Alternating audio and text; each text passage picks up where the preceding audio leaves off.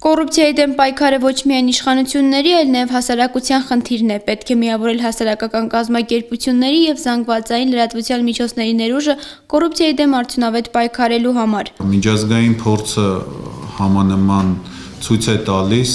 որ ամեն ինչ սկսվում է քաղաքացիական հասարակության կողմից բարձրաձայնմամբ, հիմնականում քաղաքացիական հասարակության կազմակերպված խմբերի կազմակերպությունների կողմից երբ նրանք փորձում են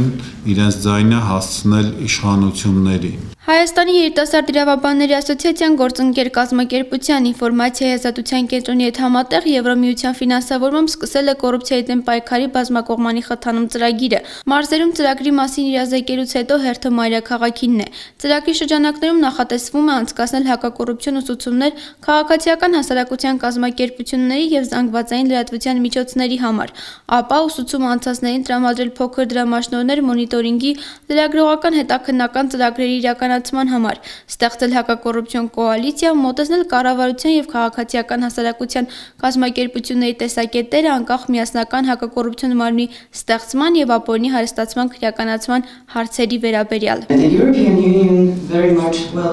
Եվրոմիությունը մեծապես ողջունում է այն փաստը, որ քաղաքացիությունը եւ ԶԼՄ-ները շատ ավելի ջանքեր են ներդրում կոռուպցիայի դեմ պայքարի գործում, ինչպես ազգային, այնպես էլ տարածքային մակարդակներում